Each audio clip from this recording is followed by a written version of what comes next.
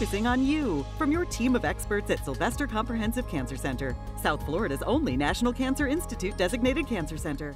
A decade after battling breast cancer, Stephanie Leiva found out her fight wasn't over. Pretty much 10 years later, I found out I had ovarian cancer. Dr. Matthew Schlumbrecht, a gynecologic oncologist at Sylvester, recommends patients like Stephanie undergo genetic testing, not just for BRCA that can raise a woman's risk for breast cancer, but for a panel of genes including the less well known PALB2. So everybody has PALB2. Um, when PALB2 is mutated, that complex doesn't work as efficiently. So much like BRCA1 and 2, there are associated increased cancer risks when people have a genetic mutation in PALB2.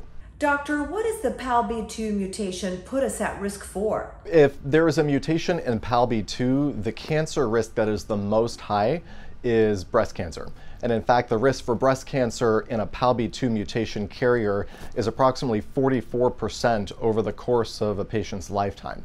So for comparison, the risk of breast cancer in the general population is about 11%. So that's a significant increased risk associated with a PALB2 mutation. The gene mutation can also increase the risk of ovarian and pancreatic cancers.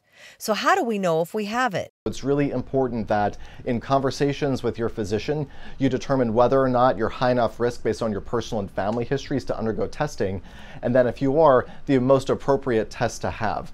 Doctor, why is this so near and dear to your heart? PALB2 in particular is very special to me because my spouse actually is positive for PALB2. We only detected that because of a family history of breast cancer with my in-laws.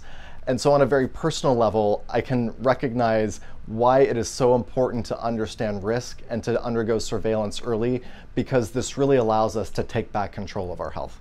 Stephanie learns she has the PALB2 mutation.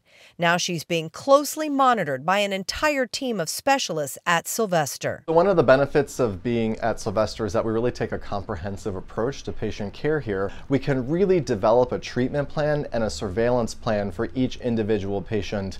Stephanie, a beloved teacher and mom, is thankful to the team at Sylvester and to be here to watch her adopted daughter Sloan grow up. I got married uh, uh, late in life, first and only time, and was unable to have children. It's difficult to adopt, but we got the perfect kid for us when she was three days old. She's getting ready to graduate from college. So my prayers have been answered.